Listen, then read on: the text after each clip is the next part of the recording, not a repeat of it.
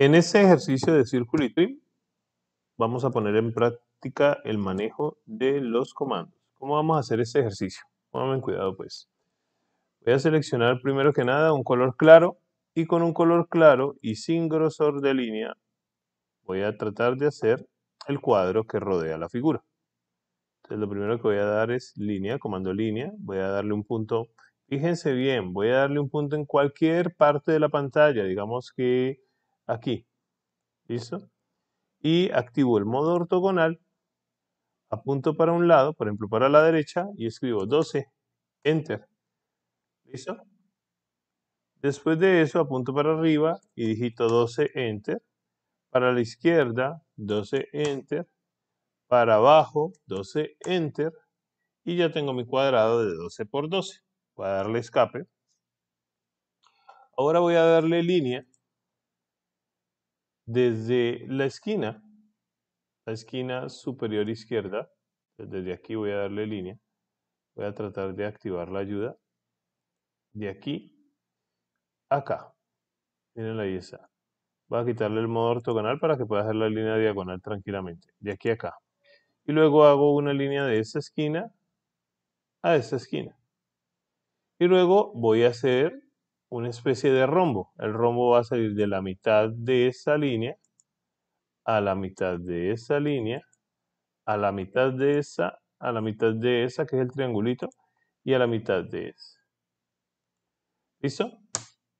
Entonces ya tengo, de cierta manera, ya tengo el fondo donde voy a trabajar. Ahora vamos a cambiar de color. Voy a colocarle el rojo, voy a colocarle algo de grosor y voy a empezar a trazar mis círculos. Son tres círculos los que hay que hacer. Uno, dos, tres, cada uno de radio 1 superior al otro. Es decir, radio 1, el primero, vuelvo a círculo, me ubico aquí, radio 2, vuelvo a círculo, me ubico aquí, radio 3. ¿Listo? Vamos a cortar esos círculos. Tienen que aprender a pensar rápido, ¿no? Entonces voy a darle trim, comando trim, es el que no piensa tan rápido, selecciona la línea, le da enter y borra un círculo. ¿Listo? Vuelve a trim, selecciona la línea, le da enter y borra otro círculo. ¿Listo? Vuelve a trim, selecciona la línea, le da enter y borra otro círculo. Recuerden que él borra a partir de la línea que usted seleccione. ¿Listo?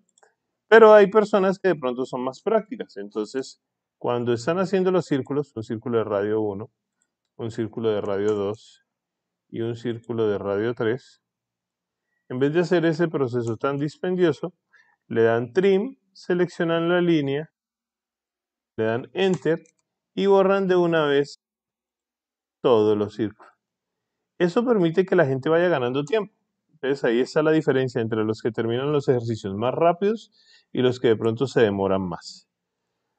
Círculo de 1, Círculo de 2, y círculo de 3. De nuevo, círculo de 1, círculo de 2 y círculo de radio 3. Luego le doy trim, selecciono de una vez las dos líneas, enter y borro los círculos. ¿Listo? Tienen que buscar la forma de trabajar cada vez más rápido. Ahora, la línea. Voy a trazar una línea de aquí. Repito, de aquí a acá. Repito, de aquí a acá. ¿Listo? No tiene necesidad de ir hasta el comando línea siempre. Línea, clic, clic, escape, línea, clic, clic, escape. Eh, freno, listo. Otra vez.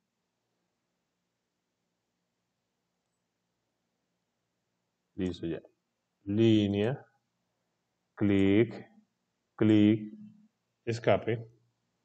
No hay necesidad de hacer ese proceso. Simplemente denle línea, le dan de aquí a aquí, y mientras con la mano derecha señalan, la mano izquierda la ponen encima del botón Enter. Un Enter sirve de escape y dos Enter vuelve a activar el mismo comando. Un Enter de escape y otro Enter activa el mismo comando. Entonces yo lo que hago es eso, Enter, Enter, Enter, Enter, Enter, Enter, y así va rindiendo más. ¿Listo? Cuando ya tengan eso, entonces le damos Trim, seleccionamos estas dos líneas,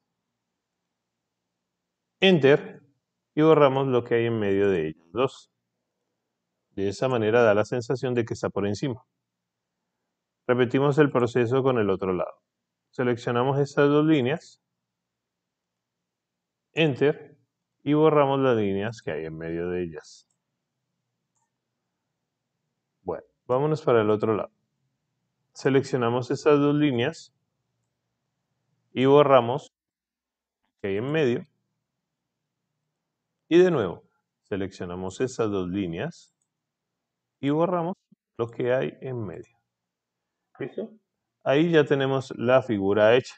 Lo único que nos falta es pintarlo para que nos quede muy parecido a esta. Cada quien puede pintarlo de los colores que quiera, ¿no? La idea es hacer la práctica y que sobre todo utilicen los comandos círculo y los comandos, el comando círculo y el comando trim. Bueno, no es más.